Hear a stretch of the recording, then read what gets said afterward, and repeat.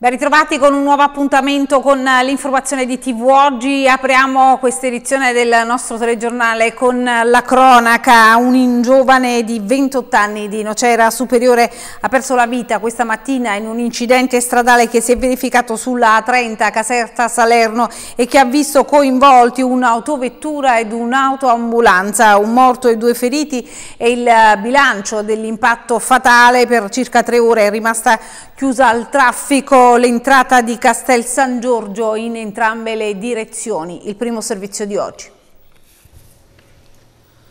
Un'altra giovane vita spezzata da un incidente stradale che si è verificato alle 4 e mezzo di stamani all'altezza dell'ingresso dell'autostrada A30 Caserta Salerno a Castel San Giorgio. Un ragazzo di 28 anni, Alberto Maria Dellaglio, di Nocera Superiore, è morto a causa dell'impatto avvenuto tra la sua Fiat Panda che guidava ed un'ambulanza mentre tornava da Salerno. Altre due persone sono rimaste ferite, per fortuna non in maniera grave. Le cause dell'incidente sono al vaglio degli inquirenti, la polizia stradale e il personale della direzione Sesto Tronco di Cassino visioneranno accuratamente le immagini delle telecamere presenti sul tratto autostradale per capire l'esatta dinamica del sinistro.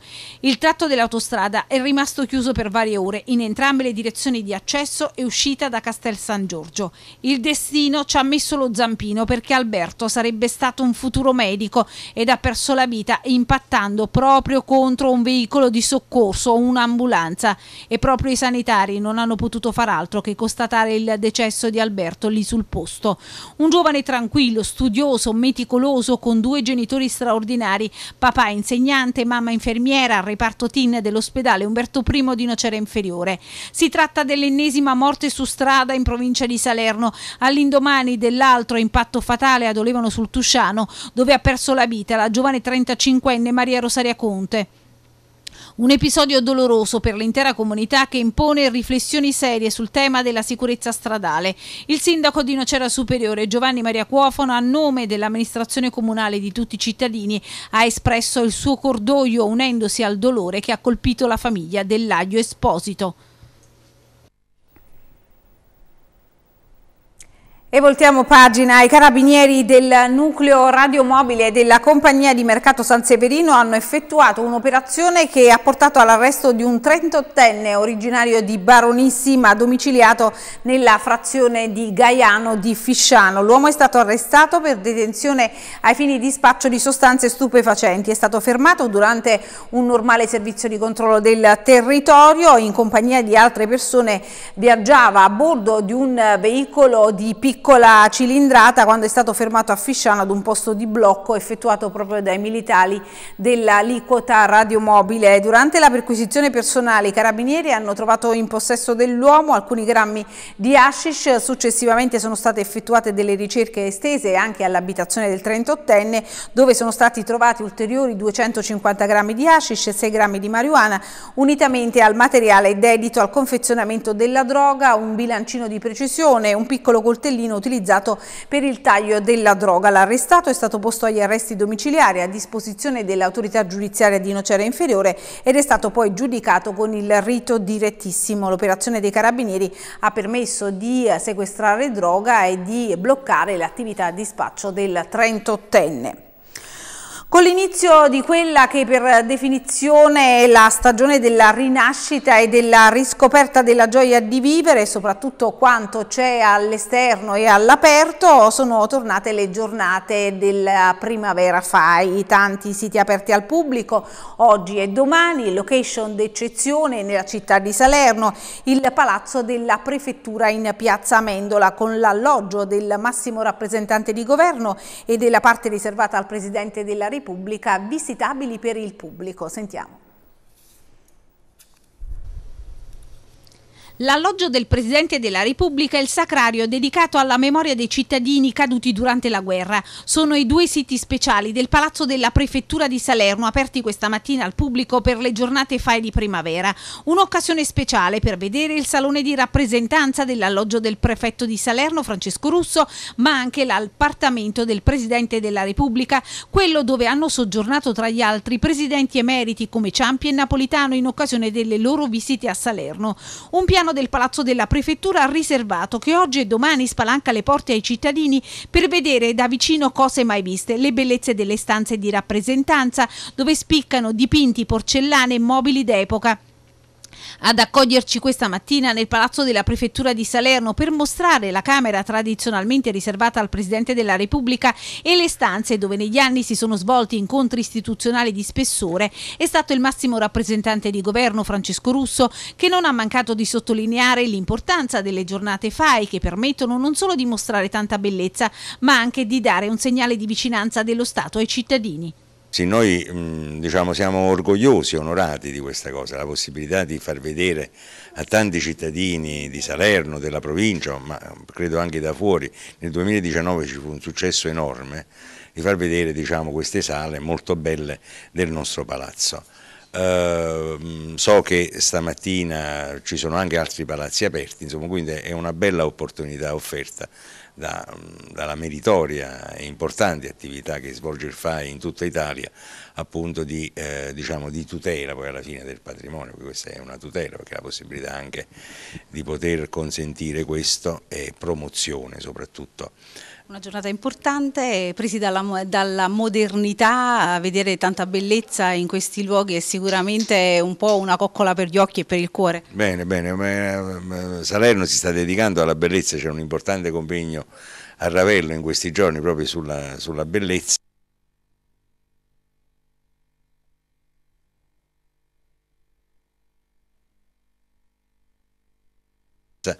Ed è una cosa che questa città eh, diciamo, deve curare sempre con grande attenzione. La bellezza un poco, sta diventando diciamo, dire, una delle forme di interpretazione della realtà eh, e ne abbiamo tanto bisogno ecco, della bellezza. Eh, che poi bellezza si, si coniuga con uh, comportamenti corretti, con il rispetto degli altri, con una buona socialità in generale eh, ci fa piacere di poter essere diciamo, come dire, compartecipi, protagonisti di questo modo di, di ragionare, di portare avanti la nostra vita sociale. Aprire le porte del palazzo più importante della città di Salerno, il palazzo di governo dove il Presidente della Repubblica trova accoglienza qualora dovesse trovarsi in questa città o nella provincia, l'occasione anche per aprire le porte ai cittadini, una vicinanza con le istituzioni. Sicuramente è, una, dire, è, un impegno che noi cerchiamo quotidianamente di portare avanti, eh, perché i cittadini devono sentire vicino alle istituzioni, le istituzioni si devono sentire responsabili di questa vicinanza dei cittadini, perché soltanto in questo modo il nostro mondo è così complesso e così articolato per cui solo le istituzioni o solo i cittadini non vanno da nessuna parte. Bisogna lavorare insieme, dare delle buone risposte e sì, l'apertura di questi luoghi che normalmente neanch'io frequento, insomma, pure se sono vicine diciamo, all'appartamento in cui vivo, eh, perché sono luoghi un po' riservati, in particolare diciamo, l'appartamento del Presidente della Repubblica che è, è molto bello, diciamo, anche se è piccolino, insomma, chiaramente serve soltanto nelle occasioni di presenza qui del Presidente, insomma è una bella occasione, è una, diciamo, una chicca un po' per tutti. Una due giorni importante, quella promossa dal Fondo per l'Ambiente Italiano, luoghi di grande interesse come quelli della Prefettura di Salerno che come dicevamo oggi in occasione delle giornate FAI di primavera possono essere scoperti dai cittadini. Una bella occasione quella promossa dalla delegazione FAI di Salerno guidata da Michelangelo De Feo. Sentiamo. Le bellezze delle stanze del palazzo di governo a Salerno riservate al Presidente della Repubblica, un vero e proprio alloggio prestigioso, un salone, una camera da letto impreziosita dall'arte. È un bel colpo d'occhio quello a cui si assiste varcando la soglia dei piani alti del palazzo di governo di Piazza Mendola, dove sono esposti anche alcuni dipinti dell'artista salernitano Mario Avallone, sale degne di attenzione di grande eleganza e di cui molti ignorano totalmente l'esistenza. Mobili d'epoca, pavimenti appartamenti di pregiata fattura dove spicca una tavola imbandita con posateria in argento e piatti presidenziali in porcellana. Luoghi di grande interesse, quelli della prefettura di Salerno che oggi in occasione delle giornate fai di primavera ha permesso a tanti anche di visitare il sacrario dedicato alla memoria dei cittadini caduti durante le campagne di guerra, decorati di medaglia d'oro al valor militare. Una bella occasione, quella promossa dalle giornate fai di primavera dalla delegazione fai di Salerno guidata da Michelangelo De Leo per addentrarsi anche nella storia dei nostri caduti raccontata dagli allievi del liceo classico Perito Levi di Eboli insieme ai volontari dell'Associazione Nazionale Polizia di Stato. In occasione delle giornate fai di primavera, oggi sabato 25 e domani domenica 26, è possibile tra l'altro visitare anche il Palazzo della Prefettura dove eh, il pubblico visiterà in maniera esclusiva il cosiddetto alloggio del Presidente della Repubblica. Ci troviamo qui adesso nello studio dell'alloggio, in questo luogo um, è stato ospitato come Presidente eh, Ciampi e il Presidente anche Napolitano. Vorrei ricordare anche le altre aperture, ovviamente a Salerno ci sono ehm, eh, nell'ambito della campagna degli ex conventi eh, abbiamo Palazzo Sant'Agostino, sede della provincia, eh, la Fondazione Ebris, ex convento San Nicola della Palma, eh, la Fondazione Carita, Carisal, ex convento eh, di San Michele, la, il Comando Provinciale della Guardia di Finanza, ex convento eh, San Giorgio, poi la nostra sede con una mostra fotografica di Corradino Pellecchia e eh, Francesco Siano, Ravello con Villa La Rondinaia, Vallo della Lucania con Palazzo Mainenti, sede della, del Parco Nazionale del Cilento, Vallo di Diano e Alburni. Entrare in questo alloggio e vedere tanta bellezza, ci sono affreschi del 1800, ci sono mobili antichi, un pavimento di marmo di tutto rispetto. Sì, è un ambiente tipico dell'epoca in cui è stato, è stato, edificato il Palazzo della Prefettura, si parla dell'inizio Novecento, eh, ripeto, sono ambienti eh, chiusi, quindi eccezionalmente si visitano eh, in eh, giornate fai di primavera, è possibile eh, prenotare, anzi invito il pubblico a prenotare soprattutto per la rondinaia eh, a Ravello, per la Fondazione Ebris e il Palazzo della Prefettura. Eh, in questo eh, appartamento abbiamo quadri prevalentemente del XVIII secolo, in particolare abbiamo due quadri di Mario Avallone eh, che sono La donna sdraiata e La veduta di mare e cielo. Eh, Mario Avallone è nato a Salerno nel 1899 ehm, e dopo essersi trasferito a Venezia eh, inizia a produrre una serie di opere eh, che poi esporrà a Salerno nel 1929. Eh, la sua mm, pittura è, mm, non presenta uh, contorni definiti, è molto fluida. Il vicepresidente del Senato Maurizio Gasparri invece questa mattina è stato in visita istituzionale a Palazzo di Città, ospite del sindaco della cittadina metelliana Vincenzo Servalli. Sentiamo. Il vicepresidente del Senato Maurizio Gasparri, romano di nascita ma legato a Cava dei Tirreni per motivi familiari, questa mattina è stato in visita istituzionale a Palazzo di Città, ospite del sindaco Vincenzo Servalli.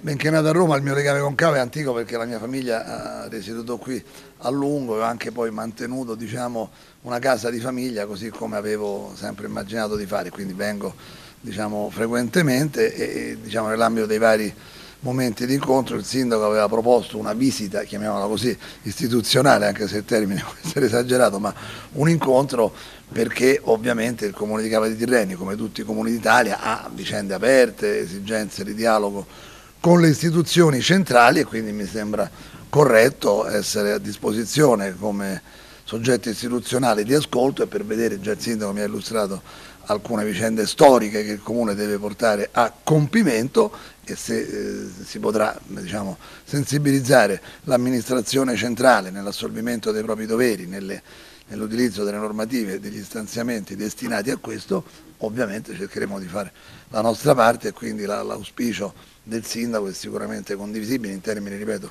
istituzionali al di là delle appartenenze, poi le campagne elettorali ognuno le vive come ritiene, poi c'è la vita delle comunità, dei territori, eh, delle strutture, delle infrastrutture che vanno alimentate in questo momento che da un lato è molto faticoso per gli enti locali perché la quadratura dei bilanci, la inadeguatezza delle risorse è un dato nazionale di cui anche l'ANCI si fa sempre carico nei confronti del Parlamento e che anche l'attuale governo deve esaminare nella richiesta complessiva che ammonta a diversi miliardi da parte dei comuni. Poi c'è il PNRR che ha suscitato grandi speranze e aspettative, io giro molto l'Italia, quindi tutti hanno progetti, hanno possibilità eh, di trovare in questi finanziamenti delle opportunità, ma anche lì come vedete bisogna essere rapidi e adeguati e spesso anche il governo centrale dovrà aiutare le amministrazioni dei territori a cogliere questa occasione perché spesso anche, parlo non caso mai di Cava, ma di piccoli comuni, non hanno neanche una struttura amministrativa che possa eh, preparare progetti adeguati, quindi credo che c'è un momento di interrelazione tra strutture di governo centrali, opportunità europee e amministrazione dei territori molto importante per far sì che l'Italia utilizzi al meglio questa vicenda che è nata da una disgrazia, da tutta la vicenda del Covid, però poi come sempre accade dalle disgrazie nascono delle opportunità e quindi i finanziamenti del PNRR lo sono e quindi ecco, siamo qua, abbiamo un po' discusso col sindaco poi di alcuni progetti specifici che riguardano Cava che poi insomma mi dettaglierà successivamente e che illustreremo alle amministrazioni nazionali di competenza. E restiamo a Cava dei Tirreni perché una frana di grosse dimensioni si è verificata poco dopo mezzogiorno in via Michele Morcaldi, a pochi metri dall'abbazia benedettina della Santissima Trinità. Per fortuna al momento del distacco della frana non c'erano persone o autoveicoli in transito. Immediatamente è scattato l'allarme, sul posto sono intervenuti gli agenti della polizia locale che hanno provveduto ad interdire il transito prima dell'arrivo dei vigili del fuoco. Presente sul posto anche gli assessori Germano Baldi e Nunzio Senatore. La Bazzia Benedettina è ora praticamente isolata. Si temono tempi lunghi per la messa in sicurezza della scarpata, tenendo conto anche dell'estensione del fronte franoso. E per questo weekend AIL presente nelle piazze italiane con le uova di Pasqua a sostegno della ricerca e dei pazienti. Fino a domani anche nel Salernitano si rinnova l'appuntamento con la solidarietà promosso dall'Associazione Italiana contro le leucemie, linfome e mieloma, la sezione Marco Tolimieri di Salerno al fianco dei pazienti ematologici e delle loro famiglie. Sentiamo. Ogni uovo custodisce un sogno, aiutaci a realizzarlo. È questo l'invito con cui i volontari dell'AIL, dell'Associazione Italiana contro le leucemie e linfoma, richiamano alla solidarietà ai cittadini. In piazza anche a Salerno come nel resto della provincia per tre giorni fino a domani le uova di Pasqua AIL, l'iniziativa posta sotto l'alto patronato del Presidente della Repubblica, giunta alla sua trentesima edizione. Come da tradizione in diversi punti del Salernitano la sezione AIL Marco Tulimieri di Salerno Salerno, da sempre al fianco dei pazienti ematologici e delle loro famiglie, ha allestito un gazebo nel quale vengono distribuite ad un'offerta minima di 12 euro le uova di Pasqua dell'AIL. Il ricavato sosterrà la ricerca scientifica contro le tre forme di cancro, leucemia, linfoma e mieloma. Nel gazebo della piazza di Pastena questa mattina la presidente dell'AIL di Salerno, Elvira Turimieri, con una sorpresa e un sogno speciale. Un momento importantissimo per l'associazione, sono 30 anni eh, che siamo in piazza con le uova, io ringrazio tutti i volontari che oggi in tutta la provincia di Salerno si stanno dedicando a questa attività di volontariato. Per noi è importantissimo, l'uovo contiene il sogno, il sogno di non spezzare una vita. Eh, la malattia del sangue, le malattie del sangue non possono fermare la vita di tante persone, soprattutto di giovani.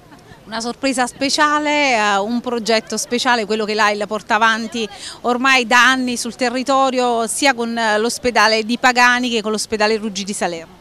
Sì, noi eh, ormai sono tanti anni, sono più di 25 anni che siamo sul territorio, sosteniamo le strutture, sosteniamo le strutture ematologiche eh, con eh, borse di studio per la ricerca ma soprattutto per progetti per l'assistenza. I nostri pazienti non devono essere lasciati da soli e quindi abbiamo il servizio navetta eh, che li accompagna in ospedale, abbiamo il servizio psicologico e tante attività che adesso con la primavera rinizieranno come la velaterapia e il fit walking camping. Ritirare un uovo di Pasqua e eh, contribuire con una giusta causa significa aggiungere un piccolo pezzo ad un grande puzzle.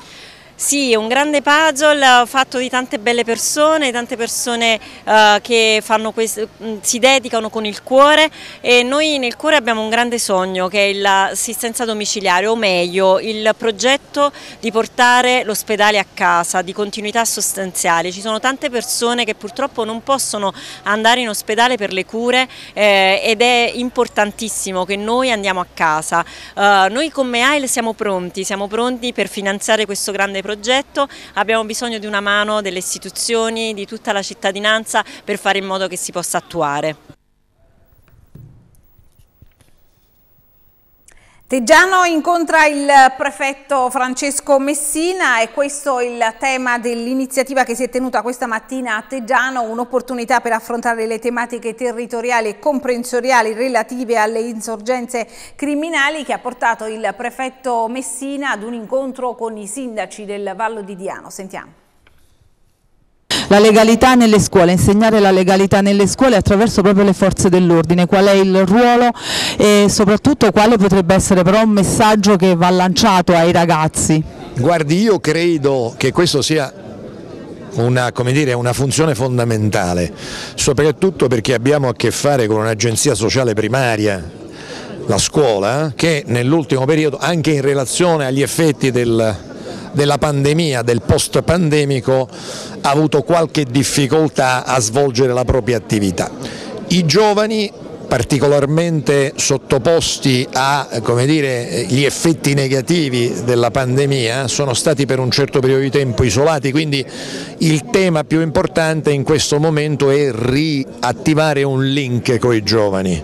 Noi lavoriamo molto, io in particolare lo faccio spesso, lavoriamo molto su questa possibilità di instaurare un rapporto comunicativo perché quello che oggi colpisce di più, si sente spesso parlare di baby gang, di, di violenza giovanile, quello che colpisce di più è che si tratta in sostanza di situazioni di devianza di questi minori che sono stati appunto compressi e sono stati eh, messi in condizione di non poter esercitare una funzione primaria che è quella sociale.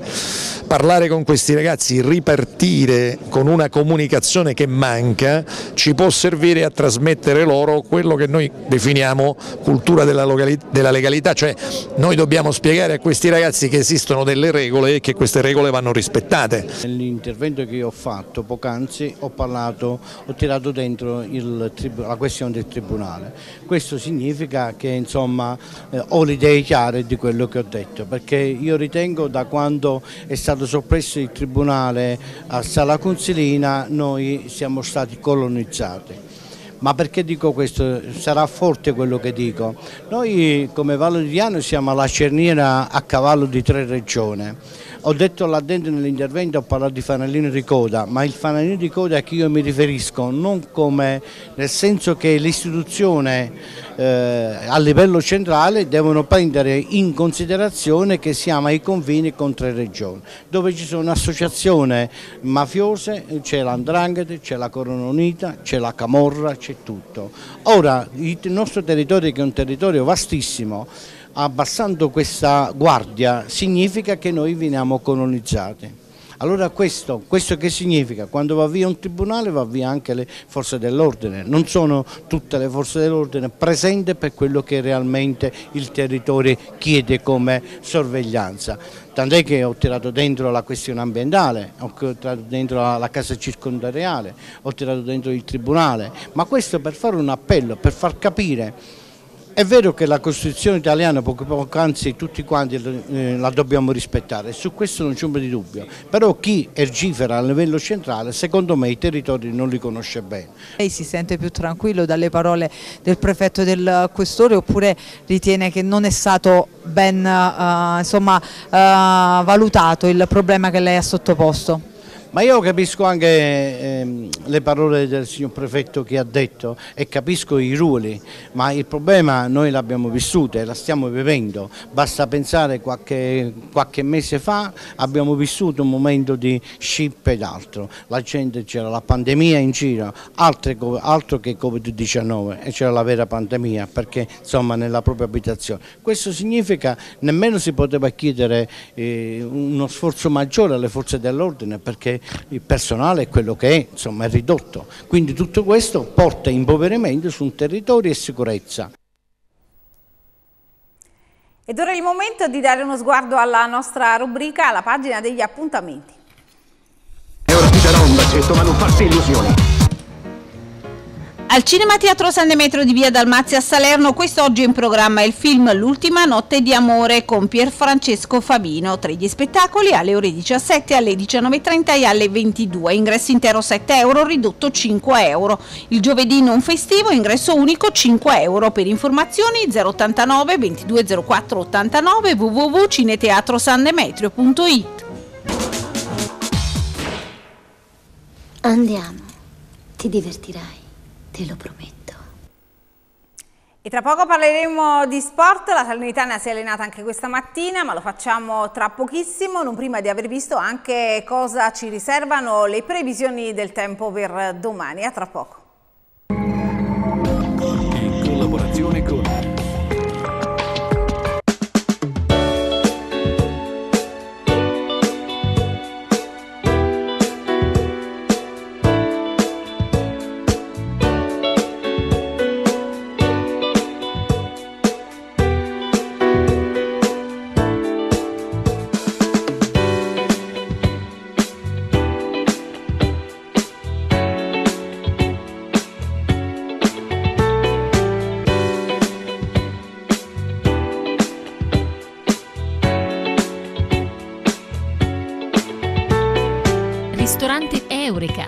Sapori del mare.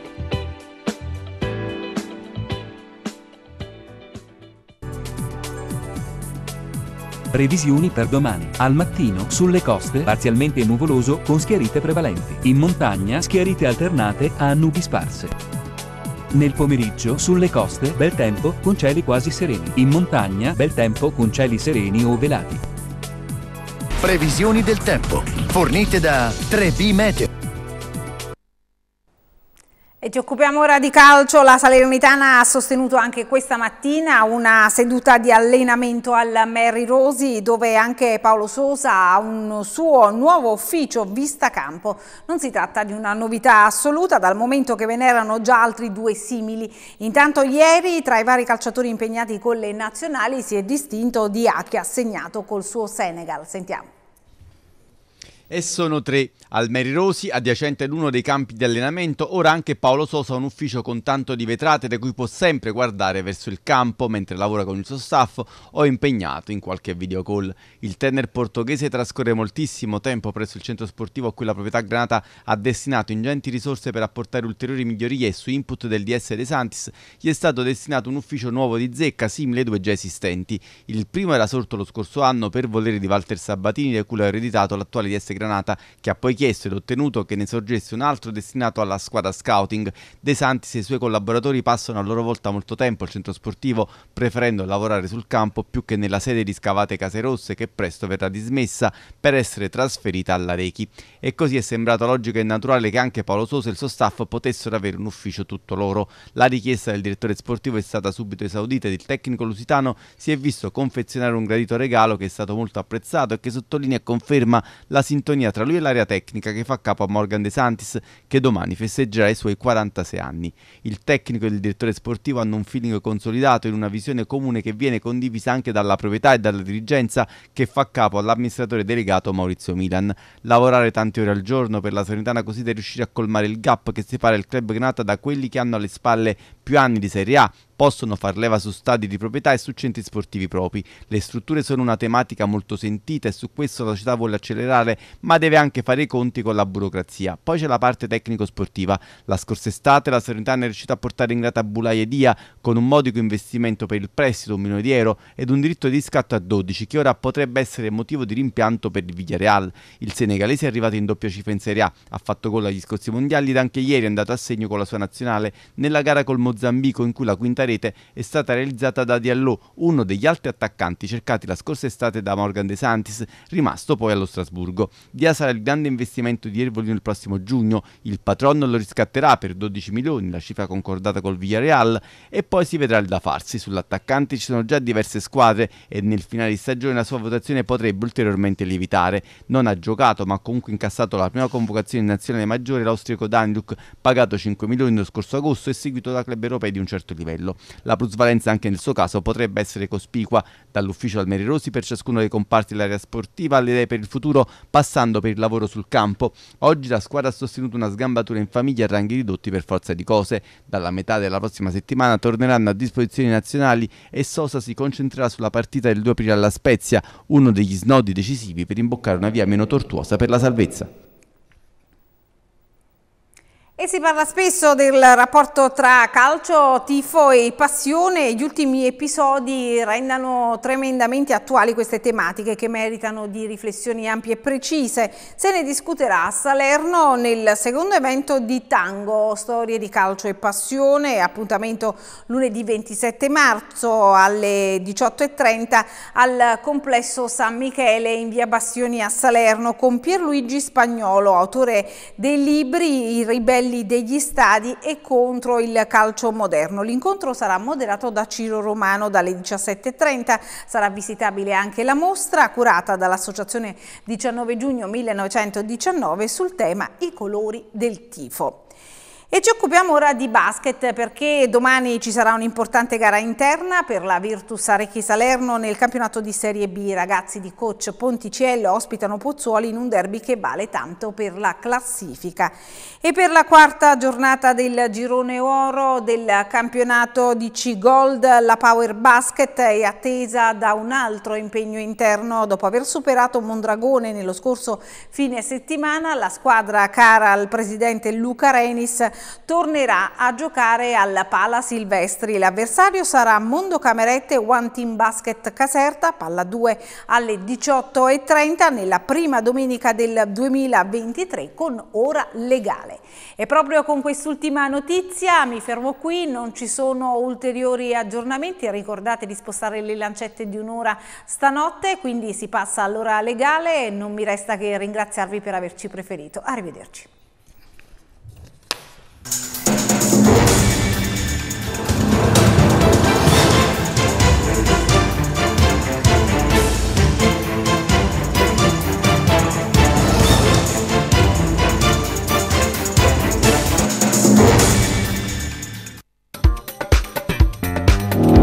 Rivedere questo programma? Visita il nostro sito tvoggisalerno.it e clicca su TV Oggi On Demand.